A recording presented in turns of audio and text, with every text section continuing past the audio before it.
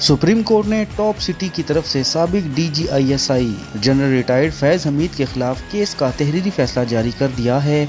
मोइज अहमद की दरख्वास्त पर 8 नवंबर की समात का तहरीरी फैसला जारी किया गया। सुप्रीम कोर्ट के मुताबिक दरख्वास्त गुजार ने आई एस आई के सबक अहदेदार फैज़ हमीद पर संगीत इल्ज़ाम आयद किए गए हैं।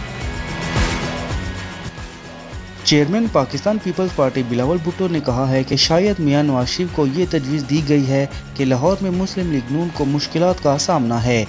इसलिए वो एक दो सीटों के पीछे दूसरे सूबे जाने की तकलीफ़ उठा रहे हैं। मेरा मशवरा है कि वो लाहौर ही पर ध्यान दें।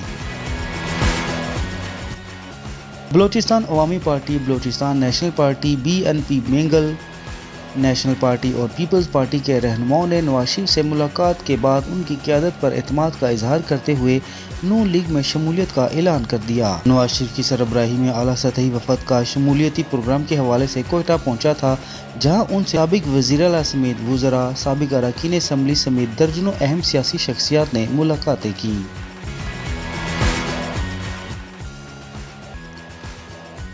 और यमन की हौसी तहरीक के रहनमा ने इसराइल पर हमले जारी रखने का इजहार किया है और कहा है कि इनकी फौज इसराइली जहाज़ों को निशाना बनाएगी। अपनी तकरीर में हौसी रहनमा अब्दुल मालिक अल हौसी ने कहा कि हमारी आँखें बहिर अहमर, ख़ास तौर पर बाबुल मजाहिब और यमनी इलाकई पानियों के करीब किसी भी इसराइली जहाज़ की मुसलसल निगरानी और तलाश के लिए खुली हैं। बहिरा अहमर में इसराइली जहाज़ों को निशाना बनाएँगे।